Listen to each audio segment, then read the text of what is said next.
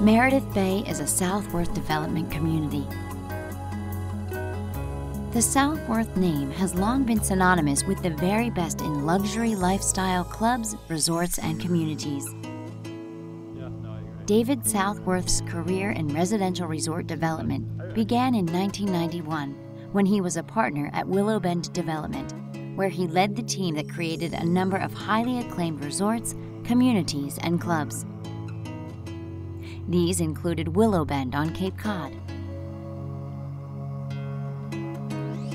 Starr Pass in Arizona, Rio Mar in Puerto Rico, Coco Beach just up the coast from Rio Mar,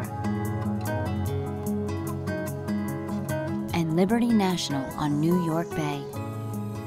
In 2005, David founded Southworth Development and a year later acquired a partner, his longtime friend, Joe Deitch.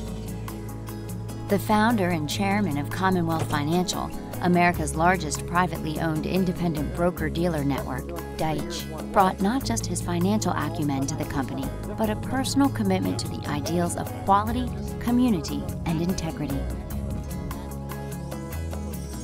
Southworth Development has gone on to create and develop its own unique properties, including Machrihanish Dunes in Scotland, Meredith Bay in the Lakes region of New Hampshire,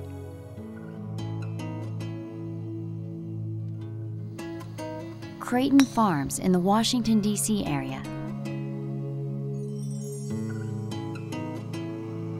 Renaissance on the North Shore of Boston,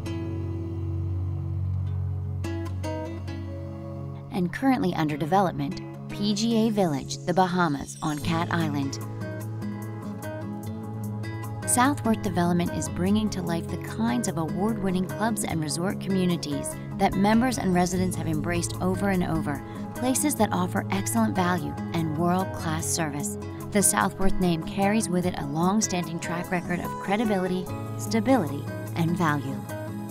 Customers really appreciate the fact that Southworth Development and International Resort Developers behind Meredith Bay uh, it really helps to understand that there's a company behind Meredith Bay that provides credibility, stability, and commitment. We're looking for communities where our members and homeowners can celebrate life, where we can celebrate life, where we can be proud of what we do.